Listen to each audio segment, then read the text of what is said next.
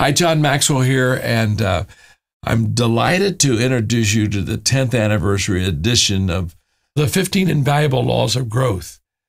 And I, I vividly remember the look that Kurt Kampmeyer gave me across the table at breakfast that day back in 1974. We'd been talking for a little while about my work and my life. And I went on and on about all of my big plans. And to be honest with you, what I shared with Kurt that day was long on vision. but very short on substance. And after listening as long as he could, Kurt leaned forward and asked me, he said, John, what, what is your plan for personal growth? And before that question, before Kurt turned my world inside out, I, I could tell you all about my goals and my dreams and my ambitions, but I would leave out the most important part how I was going to accomplish it all. And when Kurt asked me that question, the question it was the moment that I realized absolutely none of it would come true unless, well, unless I got intentional about my life, unless I became committed to the discipline that would fuel everything else that I hoped to do, unless I embraced the first law that would become the 15 laws of growth. You see, growth just doesn't happen. So I embraced that law and began my journey of personal growth. And if you heard me speak or read any of my books, as you know, that Kurt was a sales representative for a personal growth kit that cost $799, which was an entire month's salary for me at that time. And I was thrilled by the prospect of having someone help me start and build my growth journey. So I asked if I could take the kit home to Margaret and show her what was on the inside. And, you know, crazily, Kurt said I could. And so I raced home to show Margaret the kit's components. It was a cassette tape with lessons, a participant's guide, worksheets, uh, other resources, all designed to push you toward being your very best. And we agreed to do whatever was necessary to pay for that. And Margaret graciously uh, took on more work to create enough supplemental income for us to be able to buy that $799 kit, which would be a month's salary for me at that time. Now, I shared this story with you once because I, I want you to know that growth for me required that it was more than just encouragement. It required more than just a push in the right direction. No, this growth that I'm talking about, it required someone else to speak into my life and tell me that all of my dreams were within reach if, if I'd willingly change the way that I lived every day. And for me, that person was Kurt Kampmeyer. And when I sat down to write this book 10 years ago, I, it was my desire that, that I would be a Kurt Kampmeyer to you and to thousands of people. It turns out that the number was off, and now that this book has sold over a million copies and continues to uh, be a leader in, in the growth industry. And that's because the laws of the book are not based on latest trends or built on the back of internet influence that's here today and gone tomorrow. These laws are timeless truths tested again and again through my own growth and also through the growth of others who've read the book and put these truths into practice for themselves. And of all the books I've written, this is one of the most this is the one that most people want to sign and, and ask me to autograph because of the life change that's helped them to achieve. You see, this is the book that people want me to know that they've read because they're so excited about the results of their growth journey. 10 years into its experience, the 15 invaluable laws of growth continues to be relevant in transformation for those women and men who read it and with an open mind and a willingness to get intentional about their life and about their growth.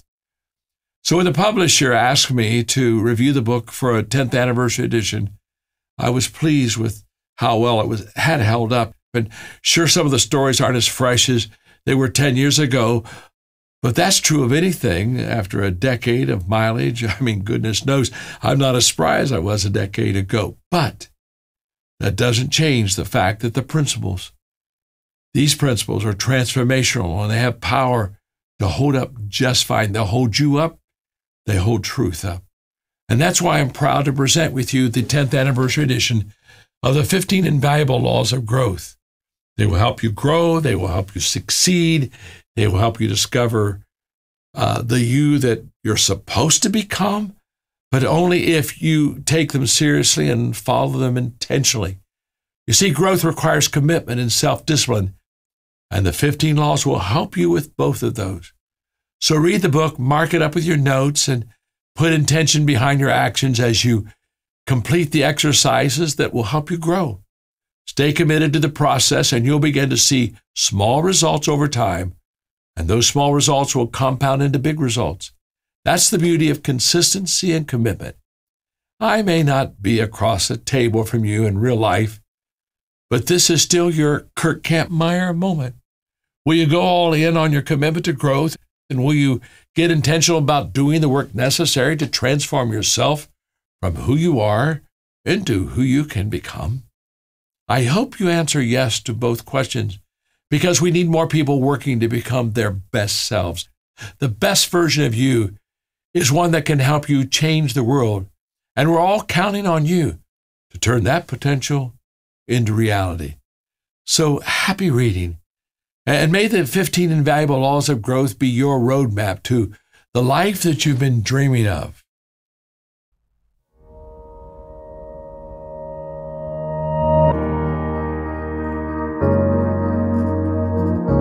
Hachette Audio presents The 15 Invaluable Laws of Growth. Live them and reach your potential. Written and read by John C. Maxwell.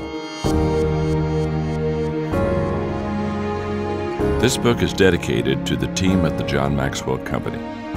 You fulfill my vision, you extend my influence, and you make me better than I am. Your work is helping others to maximize their potential and impact their world and it's dedicated to Kurt Kampmeyer, who introduced me to the concept of intentional personal growth, and in doing so showed me the path to reaching my potential. Acknowledgements Thank you to Charlie Wetzel, my writer, Stephanie Wetzel, my social media manager, and Linda Eggers, my executive assistant. Introduction Potential is one of the most wonderful words in any language. It looks forward with optimism, it's filled with hope, it promises success. It implies fulfillment, it hints at greatness. Potential is a word based on possibilities. Think about your potential as a human being and you get excited, at least I hope you do. What a positive thought. I believe in your potential just as much as I believe in mine. Do you have potential? Absolutely. What about unfulfilled potential? That phrase is as negative as the word potential is positive. My friend Florence Littauer, a speaker and author, wrote a story in her book Silver Boxes about her father who always wanted to be a singer but never was. She says he died with the music still inside of him. That's an apt description of unfulfilled potential not reaching your potential, is like dying with the music still inside of you. Since you are listening to these words, I believe you have the desire to reach your potential. So the question becomes how do you do it? I have no doubt that the answer is growth. To reach your potential, you must grow, and to grow, you must be highly intentional about it. This audiobook is my effort to help you learn how to grow and develop yourself so you have the best chance of becoming the person you were created to be. My desire is to help you develop the right attitude, learn more about your strengths, tap into your passion, become more in touch with your purpose, and develop your skills so you can be all that you can be. You may be aware that this is the third laws book I've written. The first was developed to help leaders understand how leadership works so that they could become better leaders. The second was to help people understand teamwork and develop stronger teams. This one is dedicated to helping you understand how personal growth works and to help you become a more effective and fulfilled individual. While it's true that I may include a few leadership insights along the way, you don't need to be a leader for this audiobook to help you. You don't need to be part of a team to grow, although it certainly helps. You just need to be a person who wants to grow and become better than you are today. What do I mean when I talk about growth? That will be as unique as you are. To discover your purpose, you need to grow in self awareness. To become a better human being, you need to grow in character. We hope you enjoyed this preview. To continue listening to this audiobook on Google Play Books, use the link in the video description.